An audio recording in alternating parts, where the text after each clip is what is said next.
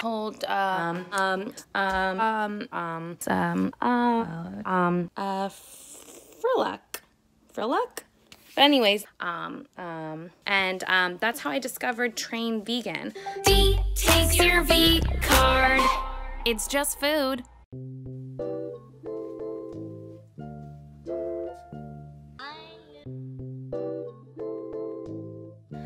So, silk is one of those things that I think people just seem to ignore, but silk is not vegan and it's not cruelty free. These come from silkworms. Distributors boil worms alive inside their cocoon. This is all like a fiber that a silkworm produces to make their cocoon. So, oh my god, so sad. There are so many other alternatives that are inexpensive, very accessible, and that's just not something that I would ever purchase because I don't have to. There's obviously always the higher end option, pieces that I like treasure. Last year at the Mercy For Animals Gala, I um, won an auction and that beautiful piece is this gown by Vaute Couture. It's beautiful. I love the color. I love the netting on the neck.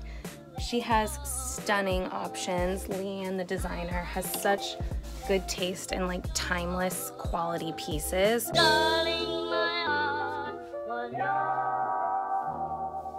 Another specifically vegan company and designer is this company called Delikate Rayne. They make beautiful pieces as well. They're very eco-friendly. A lot of their products are made from organic materials, which cut back on pollution and damage done to the ecosystem from other fashion companies and just the fashion industry as a whole. So check out Delikate Rayne.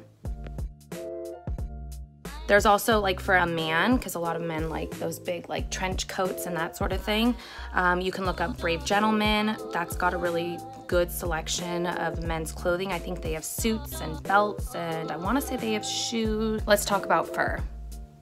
Fur is literally the fur of an animal that is still stuck to their skin, that is then skinned off of their entire bodies with their skin still attached to that so then they can like maintain the fur. Um, and this comes from bears, beavers, cats, chinchillas, dogs, foxes, minks, rabbits, uh, seals, raccoons, all of these animals. There is an option for beautiful faux fur coats. I found this brand called Unreal Fur. They have awesome, awesome on-trend coats. I have actually two of theirs, and this is one of my favorites. So check out Unreal Fur. Something that seems to always be hiding in so many items. Wool is one of those things that I just find so common, especially if you live in cold weather areas where you're wearing heavy coats or sweaters. Wool is a very common ingredient, okay? And wool comes from sheep or lamb. It's not as if they're just giving them a little trim. That is a misconception. Okay, you guys, so I'm wearing this awesome, the shape of it, it's just fantastic. It like comes out at the bottom. It's like a teacup, but it's so warm, so warm that I probably shouldn't even be wearing it right now because I'm sweating. It says recycled synthetic uh, polyester fibers. So her stuff is made from recycled materials and I do believe that that first item says organic cotton for the shell. So slightly different, you're gonna pay a little more for this, but this is something that you keep for a long time and you treasure and you just love. I found this H&M coat that was perfect for cold weather if I had to go to New York for work or whatever. And this is just like a simple petticoat that H&M made. And I'm gonna show you what um, the actual material is made of. And I'll show you the tag right now. So these are the things to look for. The shell is made of polyester, viscose, elastane, polyester. It's a common ingredient. I don't know why I keep saying ingredient. We're not talking about food, you guys. We're not talking about food. Now, I had mentioned that there are alternatives for warm, warm coats for people who usually wear coats with uh, down or feathers in general in their coats.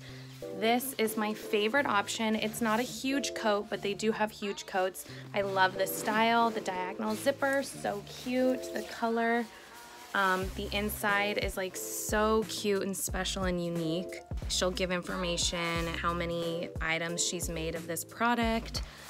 Definitely give Vaute Couture a check out. So the exciting thing are these big companies have all vowed to go completely fur free, some including The Gap, H&M, Zara is fur free, Gucci recently went fur free, and Michael Kors recently went fur free. I think Michael Kors, the designer himself, went vegan, which is one of the reasons why he decided to go fur free as a company. I'm not exactly sure, don't quote me on that. If you're curious to see what companies went fur free and whether or not you want to support them as a whole, just search what companies are fur free. But there are a lot that are making those changes, which is really comforting. There's probably a squirrel out there and Sophie heard it. So here are some brands that you can wear instead. Express, The Gap. The Gap seems pretty friendly across the board. I'm noticing their name a lot. Nasty Gal as well. Urban Outfitters. Nylon, Milkweed Pod Fibers, Silk Cotton Tree, Polyester, Rayon. Those are all animal-free materials that mimic the look of a silk so that would make it completely cruelty free. So if you see those items on a tag, you are fine. Thank you, thank you, thank you so much for watching D Takes Your V card. Um, yeah, I don't know what else to say. Darling,